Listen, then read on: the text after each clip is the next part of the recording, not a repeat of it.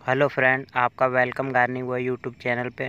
दोस्तों, कल शाम को जब मैं घूमने पार्क गया था तो वहाँ पे मुझे ये कटी हुई कुछ कटिंगें मिली है।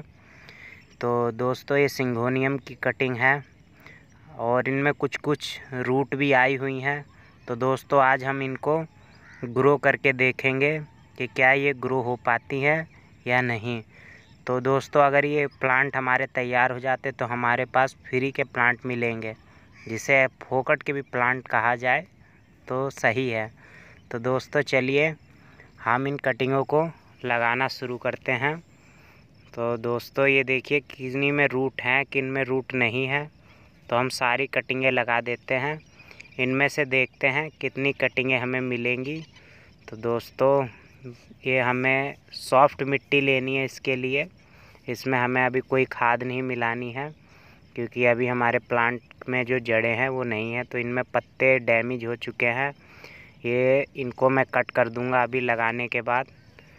तो दोस्तों, ये देखिए, इसमें कुछ रूट आई हुई हैं तो इसकी उम्मीद लग रही है ये सक्सेसफुल हो जाए। तो दोस्तों, इसका रिज़ल्ट भी आपको नेक्स्ट वीडियो में मिलेगा। तो आप चैनल को सब्सक्राइब कर लीजिए ताकि जैसे मैं इसकी न्यू अपडेट डालूं तो आपको तुरंत मिल जाए। तो दोस्तों, ये देखिए, हमने सारे प्लांट लगा दिए हैं। ये देखिए, अब हमको इनके जो लीव्स हैं, ये कट करने होंगे। तभी हमारे ये जो प्लांट है, ये सरवाइव कर पाएँगे। तो दोस्तों, ये हम उठाते हैं। ये देखिए।